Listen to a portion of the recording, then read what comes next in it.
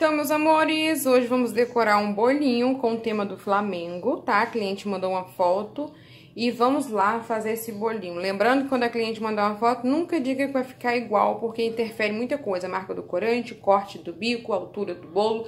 Por exemplo, essa cliente me mandou um bolo que era bem alto, mas era um tamanho acho que 15 ou 20, entendeu? Esse bolo meu depois de decorado vai ficar alto. Ele tá com 3,8 kg com essa tábua e essa vasilha, sendo que 3 kg já estaria perfeito, porque é um bolo para 30 pessoas, tá bom? Aqui é a forma de 25 centímetros, tá bem, bem recheado, eu até tirei foto, vou botar pra vocês verem depois. Então, eu vou decorar esse bolo daqui mais ou menos duas horas, mas eu já quero tingir o meu corante, porque apesar de eu ter avisado pra ela que mancha a boca com excesso de corante, eu amargo vai ficar, tá? Mas que mancha a boca, mancha, tá, gente? Então, assim, pra não levar tanto corante, eu comprei corante da marca bem boa. Eu já tinha esse aqui, que também é da mesma marca. E, enfim, a gente vai pintar antes, porque são cores que tem que ter bastante corante, que é preto e vermelho.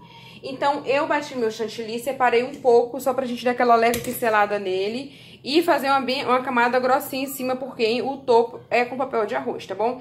Então, começo aqui dizendo que vamos precisar fazer o corante um tempinho antes. Eu tirei só pra mostrar a vocês, mas ele volta pra geladeira... Na verdade, assim, eu já vou passar o meu chantilly em cima dele, bonitinho. Mas o corante, eu só vou usar o corante não, o chantilly que eu vou tingir agora, eu só vou usar daqui a duas horas pra ter aquele tempo de descanso e abrir melhor, tá bom? Aqui no canal a gente já tem uma cor bem linda de vermelho, como eu pintei, eu mostro pra vocês lá. E é, depois que ele tiver com a cor legal, eu vou colocar uma gotinha desse aqui, marfim chá, tá bom? Só uma gotinha de nada mesmo. E o preto que a gente vai usar é esse aqui, o segredo simplesmente é colocar bastante de uma vez logo. Se você colocar pouquinho, você pode perder o seu chantilly. Ainda mais que eu quero usar o leite condensado pra, se tiver algum amargo, não amargar tanto assim. Tá bom? Então vou tingir agora e isso aqui volta pra geladeira. Então, meus amores, olha o tamanho desse bolão, bolo gigante, né? Então é assim, eu passei uma camada bem grossinha em cima, grossinha mesmo, ó, esse, essa sujeirinha aqui em cima não significa que não tem chantilly, tem bastante chantilly em cima. Meio centímetro, gente, tá? É, não pode colocar fininho não, senão vai rachar o pão de arroz.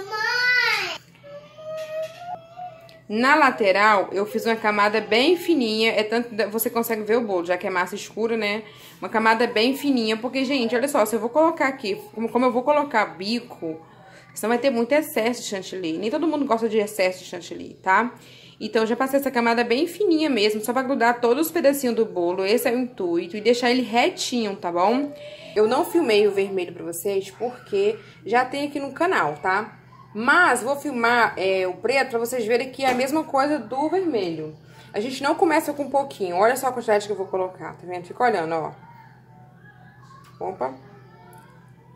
É que esse aqui é novo, então tá bem aguardo. Ó, uma quantidade boa, tá vendo? Aí vou misturar. O, pre, o, vermelho, o, o vermelho foi a mesma coisa. Aí misturo com delicadeza. E aí repito de novo. Eu não misturei tudo, mas eu já sei que ele não vai chegar ao preto que eu quero. Então, eu vou colocar outra quantidade bem grande, olha, tá vendo? É preto e vermelho. É assim, minha gente, pra fazer muita coisa não, tá? Eu tenho um pouquinho aqui também dele, nesse potinho aqui que já tá mais tempo comigo. Tá novinho também, tá? Mas já tava aberto. A próxima vez eu vou colocar ele. Não faz muita diferença não, tá bom? Coloquei e escureceu um pouquinho do cinza, né? Vamos colocar mais corante preto, tá bom? Essa quantidade já foi um pouquinho mais, tá vendo? O cinza escureceu mais um pouquinho, mas ainda não é preto, então mais corante. Pronto, galerinha. Ficou um preto, um preto que eu gostei. Talvez esse celular que eu tô filmando é muito bom, não. Mas, assim, ficou um preto bem legal. Mas ainda vai pra, pro descanso, vai ficar na geladeira descansando lá um pouquinho pra na hora que a gente for decorar. Lembrando, ele não ficou amargo, mas eu coloquei um pouquinho de leite condensado pra qualquer dúvida, né, não ter. E também pra dar um pouco de brilho. O que que acontece? Tá preto. Quando você coloca o leite condensado, um pouquinho de leite condensado, ele abre e ganha muito brilho. entendeu? Então, tente tingir o seu chantilly sem deixar ele muito mole, é, para depois você... Porque às vezes não é necessário colocar o leite condensado, mas aí você vai colocar porque porque pra tirar um pouquinho do amargo, caso venha aparecer. Esse aqui não tá amargo. Dei até Maurício pra me experimentar um pouquinho, não tá amargo, tá, gente? Mas ele vai descansar um pouquinho e depois que ele fica no bolo, ele pega mais cor ainda, tá bom? Preparar o lanche das crianças aqui e já volto. Aqui tá, aqui tá meu papel de arroz. Se eu pegar pra vocês, é, vocês vão ver que ele tá meio levemente marcadinho, tá vendo? Eu botei a forma onde eu assei o bolo aqui e meio que cortei pra, só pra gente ter uma meia marcação, tá bom? Pra não fazer isso no bolo, que às vezes não rola, não fica legal, tá vendo? Pode ser que vai precisar de um ajuste, sim, mas pelo menos já sei uma base. Tá vendo aqui um risquinho aqui? A bancada tá limpa com álcool, tá, gente? Enfim, aqui agora eu vou cortar, tá? Papel de arroz cortado. Agora vamos assentar no bolo. Então, meus amores, essa parte eu vou ter que narrar. Eu espero que fique bom, né? Mas como tem criança em casa, pode ser que ela apareça aqui do nada gritando e a gente manda ver, tá? Essa parte é muito simples. Eu vou colocar ali e meio que fazer um carinho muito rápido. E eu vou ter que deixar esse papel de arroz descansar, tá bom? Por que descansar? Eu já vou mostrar pra vocês, para você não entregar aquele bolo enrugado, o rasgado. Então tem uns truques. Claro que depende muito da textura do papel. Onde eu compro o papel, eu gosto muito da textura do papel de lá.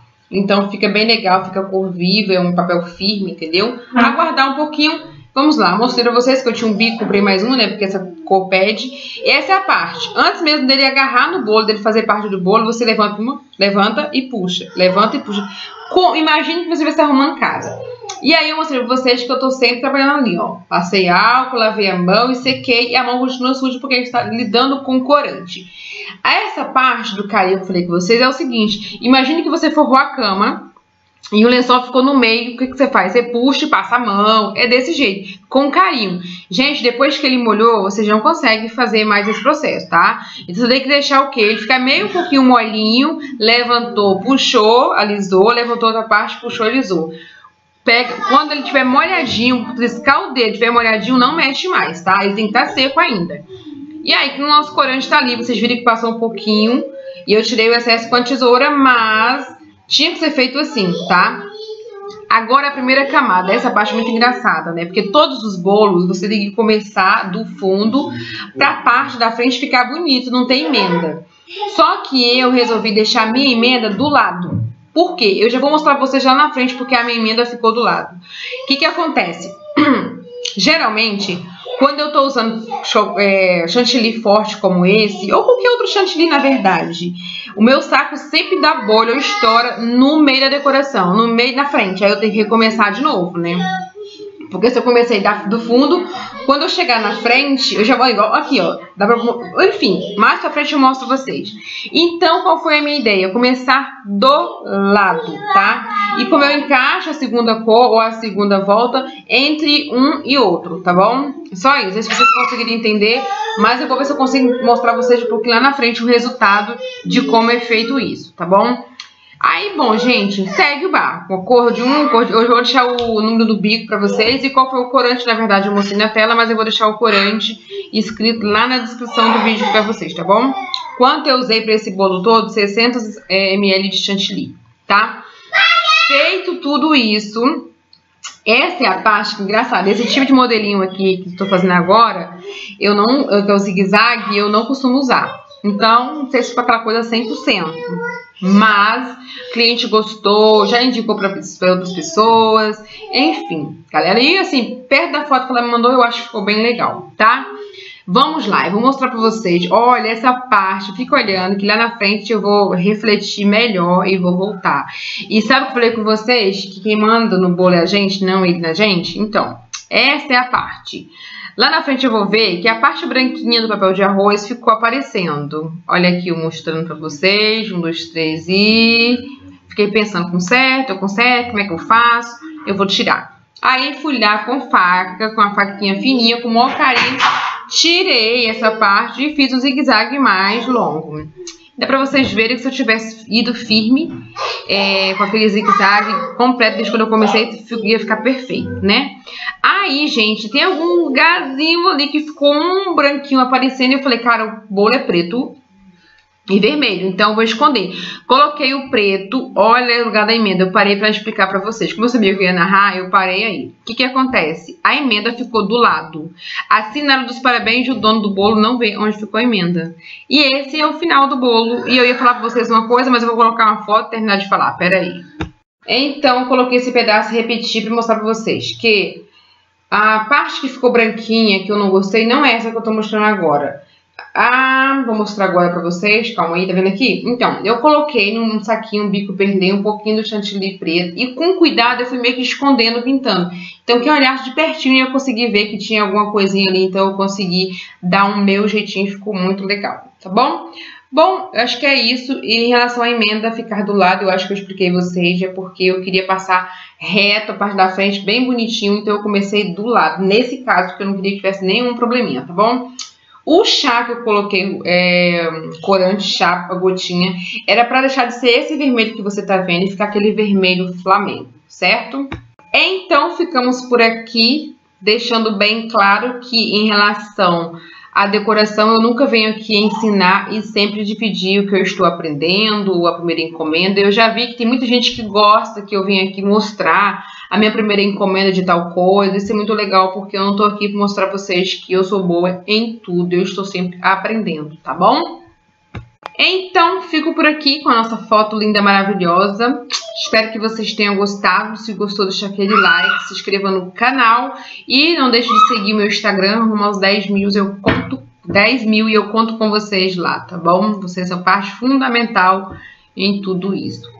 Beijo, galera! Ó, prometo vocês, se eu fizer um bolo desse mesmo modelo, vai sair mil vezes melhor, certo? Porque a gente vai aprendendo. Beijos! Força na peru!